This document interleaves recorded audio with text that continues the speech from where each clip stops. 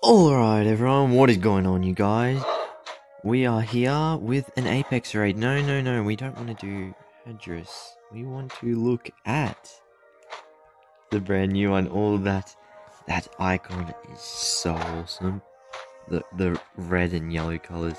Oh, we get to see a bit more of Refrenantem in that incubator. You can see the arms a tiny bit. That minion is beefy, almost 10k health. Could be a boss in itself. We got the Accio Not as good as Intellidon, which is, I am grateful for. Now, got a bunch of new things. We got the alert abilities, which are part of the flock creatures too. This will be a new aspect to Rage, which will be very fun to see. Um, it only works at 37,000 health, so when threatened, it'll distract you more. Now let's uh that's super distraction. Oh, I want to get back to that. But let's look at the incubator. Of course, I, I we can kind of expect what's coming. Got basically all of those in there.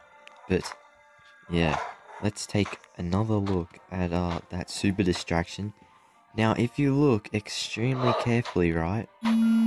Look at Refrenantem's speed. It is 125 speed, and this isn't really related to Super Distraction, but another brand new move that Refrenantem has that will appear in round 2 or 3, I guess. And that is the Instant Nullify. Now, this is gonna really annoy a lot of you with Tuoramolochs, because, yeah, Tuoramoloch has 126 speed, so if it speeds up, and then Refrenantem goes Instant Nullify, which will work directly after that, your speed up will be useless you cannot speed that up because your acceleration that's just going to get nullified by Refrenantem so the only thing that could really speed up is Ceramagnus which is a problem because Ceramagnus isn't a healer. So I can see how this is going to be a problem for many Tuoramoloch users. Are the strats going to differ? Are we going to stop using Tuoramoloch in this Refrenantem Dilophosaur raid? Oh we'll see. I'm sure Tiramite could still work. It, it doesn't look like that hard of a boss. It's pretty good though. I, it, it's gonna be awesome. I know it. Well, that super distraction as well. Oh, that's a game changer for Cunnings. I'm sure it will be. Instant impact, basically stun, whatever you want. You you've basically got it. You've got the whole cunning kit in one move, which is great. Anyway, we've got this raid right here that I wanted to do. I was invited by Craig and I decided I'd just use Dilophosaur against the Carnotaur because, you know, Refrenantem's coming and this is going to be a video talking about Refrenantem so let's use all the Dilophosaurus moves, Impact, then Rampage, then the Strike, hopefully, and Carnotaur should be gone within those moves, which will be good. Yeah, the Refrenantem I don't think it's going to be the strongest. I reckon Gorgotrebax will remain the toughest raid. But, you know, I still think that Super Distraction is going to be a pain in the butt, along with the instant nullification it will have. Because, my goodness, that is going to annoy a lot of Tuoramoloch players. What other things could you use besides Tuoramoloch? Because I reckon people who are making the raid strats, they'll be. Eh, because we all know that some abilities will go over our heads and we'll just ignore them, and it, we basically fail the raid and our strats don't work. So we've kind of got to think around this. We can't speed up when Refrenantem goes for that. We'll have to either heal or slow down. Either way, we'll be slower than most of the minions, I assume, because most of the raid creatures we bring are under 132 speed, and all the minions are above 132 speed. So we could get attacked by the minions, or possibly we could have strats where I'm trying to think. Would it be possible at all to kill that Nodosaurus in one hit, almost 10k HP? Uh, either you're going to get hit by the Nodosaurus, or you're going to get hit by the Nodosaurus.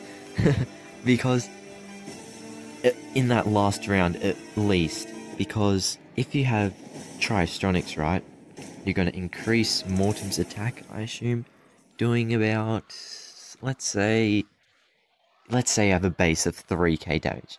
That's going to go up to 4,500 damage.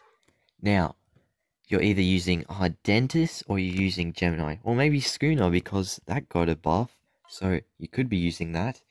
Uh, they'll do about 6k, which Nodosaurus, you gotta think it's still got the 30% or 25%, 20% armor. You're not even gonna finish it with those. Actually, Tuoramoloch damage will probably, it probably would, but then when you get to round 3, you have no chance of instantly killing it if you, you're using that strategy. Uh, what could you use? If you replace Tryostronix with Ceramagnus, maybe? Then you've like, like really, you know, you know, uh, it, you can't heal or cleanse the distraction, so it's going to be extremely, yeah, it's round three, I reckon will be pretty difficult, and it will tick a lot of us off, but, you know, I'll definitely, I recommend shields a lot, even though it's got that nullifying, I don't think it has any nullifying base attacks, so I think you're good in that aspect, but the Theorem, just be careful of that, because that will get rid of the shields if you're using them, and the Nullify too, so it's going to be an annoying boss, but a lot of fun for making strats with. Anyway, the background gameplay we've got here is the combi strike from the weekend. I didn't have time to upload it because Camp Cretaceous and whatnot. I'm sure you most of you all saw it. It was a lot of fun to watch. Yeah, there's many videos I wanted to do on it. I still might. I think maybe two, maybe two more. Yeah, maybe. People like them. They did. And you know, there's something uh that links in with Jurassic World Live and how you'll unlock Scorpius Rex. So I kind of want to make a video on that and tell you all how you can unlock Scorpius Rex because it's going to be a new mechanic. Kind of. It'll still be fusing creatures to make a hybrid, but it'll be a new mechanic, I'm sure. Yeah, I reckon because we've got a lot of Apex non-hybrids, and then what if you saw my or heard my theory that Parallax will fuse with Compsocaulus to create an Apex super hybrid. So we've got non-hybrids and super hybrids. I reckon Scorpius Rex is going to be the first hybrid Apex. So we'll we'll have all the classifications: the non-hybrid, hybrid, and super hybrid. Anyway, that's about all from me for this video. Hope you enjoyed. Hope you're excited for Refrenantem. I'll see you later. Bye everyone.